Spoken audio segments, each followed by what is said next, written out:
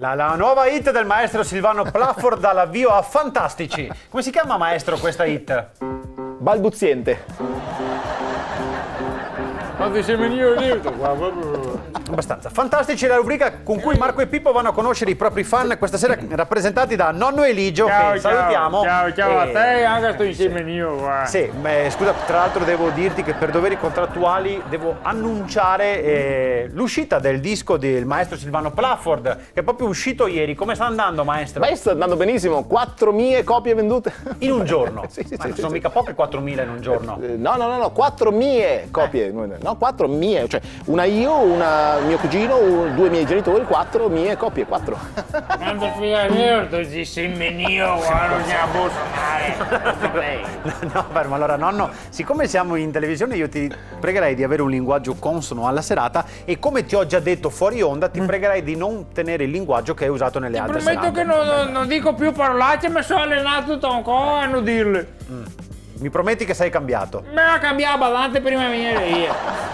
Change, change, change, change, oh what you feeling? Wanna wanna feeling, what you need. Grazie, grazie, grazie maestro. Questo- Grazie maestro. Questo tuffo negli anni 90. Eh, bene, eh, noi invece torniamo a fare le domande a nonno Eligio Ehi. per conoscerti un po' meglio. Dimmi. Che lavori hai fatto nella tua vita? Tutto. Operaio, operaio specializzato, bideo, giardiniere, infermiera, giardiniere. E ho lavorato alla Corte Costituzionale a Roma, ho fatto l'avvocato, ho fatto la ragazza alla pari in Inghilterra, il becchino, il fioraio, il giardiniere, il ghiattaro, ho fatto eh, il falso invalido un periodo, e il parcheggiatore abusivo di colore, però dura poco, dopo i sei ricordi che non so buon parcheggiare le macchine, ti ricordi? Anche quello sei gatto. Sì, sì, ti A tal proposito, a tal proposito vorrei suonare questa.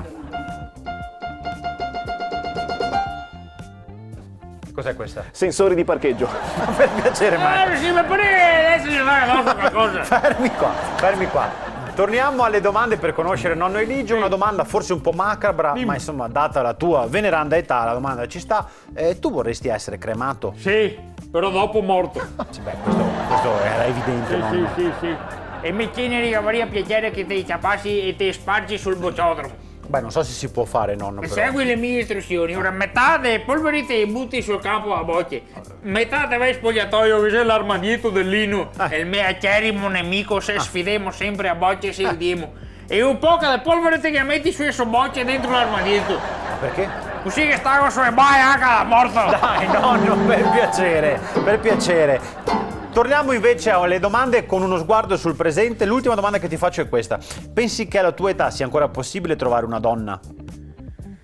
Gratis penso che sia impossibile. No, no, Ah, basta, vabbè, basta, per piacere. Oh lele, oh la la. No, no, no, no. Eh, fantastici, finisce qua. La puntata si chiude immediatamente. Grazie al nonno, grazie al maestro Silvano Prafford. Arrivederci. Oh lele, No, no, oh la no, la. Faccia-